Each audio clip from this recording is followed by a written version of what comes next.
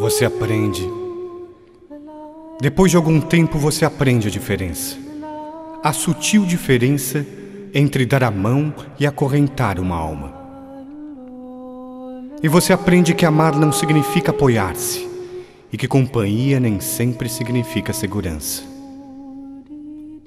E começa a aprender que beijos não são contratos e presentes não são promessas. E começa a aceitar suas derrotas com a cabeça erguida e os olhos adiante, com a graça de um adulto e não com a tristeza de uma criança. E aprende a construir todas as suas estradas no hoje, porque o terreno do amanhã é incerto demais para os planos, e o futuro tem o costume de cair em meio ao vão. Depois de um tempo, você aprende que o sol queima se ficar exposto por muito tempo. E aprende que não importa o quanto você se importe, algumas pessoas simplesmente não se importam. E aceita que não importa quão boa seja uma pessoa, ela vai feri-lo de vez em quando, e você precisa perdoá-la por isso. Aprende que falar pode aliviar dores emocionais Descobre que se leva anos para se construir confiança e apenas segundos para destruí-la. E que você pode fazer coisas em um instante das quais se arrependerá pelo resto da vida. Aprende que verdadeiras amizades continuam a crescer mesmo a longas distâncias. E o que importa não é o que você tem na vida, mas quem você tem na vida e que bons amigos são a família que nos permitiram escolher. Aprende que não temos que mudar de amigos se compreendemos que os amigos mudam. Percebe que seu melhor amigo e você podem fazer qualquer coisa ou nada e terem bons momentos juntos. Descobre que as pessoas com que você mais se importa na vida são tomadas de você muito depressa por isso, sempre devemos deixar as pessoas que amamos com palavras amorosas. Pode ser a última vez que as vejamos. Aprende que as circunstâncias e os ambientes têm influência sobre nós, mas nós somos responsáveis por nós mesmos. Começa a aprender que não se deve comparar com os outros, mas com o melhor que pode ser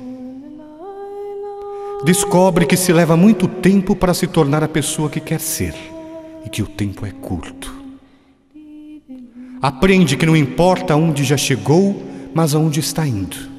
Mas se você não sabe onde está indo, qualquer lugar serve. Aprende que ou você controla seus atos ou eles o controlarão. E que ser flexível não significa ser fraco ou não ter personalidade pois não importa quão delicada e frágil seja uma situação, sempre existem dois lados. Aprende que heróis são pessoas que fizeram o que era necessário fazer, enfrentando as consequências. Aprende que paciência requer muita prática. Descobre que algumas vezes a pessoa que você espera que o chute quando você cai é uma das poucas que o ajudam a levantar-se. Aprende que maturidade tem mais a ver com os tipos de experiência que se teve e o que você aprendeu com elas do que com quantos aniversários você celebrou. Aprende que há mais os seus pais em você do que você supunha. Aprende que nunca se deve dizer a uma criança que sonhos são bobagens. Poucas coisas são tão humilhantes e seria uma tragédia se ela acreditasse nisso. Aprende que quando está com raiva, tem o direito de estar com raiva, mas isso não dá a você o direito de ser cruel.